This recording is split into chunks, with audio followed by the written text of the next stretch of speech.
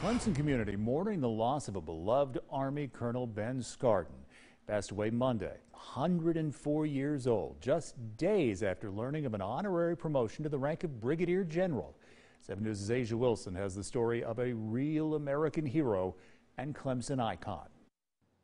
Some people read about American heroes only in pages of textbooks. Didn't take long after I got here that I started hearing about this mythical man. But Ken Scar, a Clemson writer and photographer and combat veteran, was able to build a relationship with his hero, Colonel Ben Skardon, years ago. It's been one of the greatest honors of my life.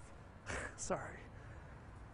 That uh, through my position here at Clemson, I've been able to help tell his story to the world. Colonel Skardon died Monday in hospice at 104 years old.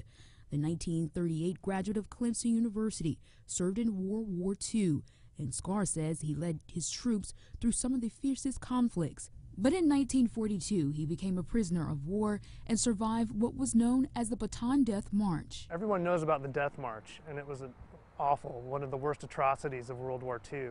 But what a lot of people forget is that the death march the death march was just the beginning of what those men went through. Along with the bataan death march skardon had several near-death experiences as a prisoner of war for more than three years like being on ships that were bombed and sinking.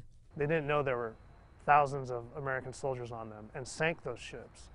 So ben was on one of those ships that was bombed uh, and it sank and he escaped and swam to shore and in another incident, Skardon was on his deathbed, and the only saving grace was his friends trading his Clemson ring for food, a story that speaks to Clemson ROTC students who knew him. I think he truly um, embodies like what it means to be a soldier and that you really can get through anything if you put your mind through it. While Skardon went through some gruesome times, some recall him living a life of serving others, like coming back to Clemson where he taught for more than 20 years to honor them. And I generally put the flag by their stone, the least I can do. A legacy and life, his dear friend says, will be remembered not only on Clemson's campus, but across the globe. I try to live my life like him. I mean, that's kind of what he taught me is, is stay positive, serve others, and uh, he's the ultimate American survivor, man.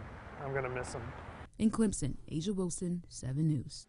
Oh, what a life. Clemson University says for years, Skardon walked the annual Bataan Memorial Death March in New Mexico for miles. Took his last memorial walk at the age of 101 to honor his brothers in arms who didn't come home from the war.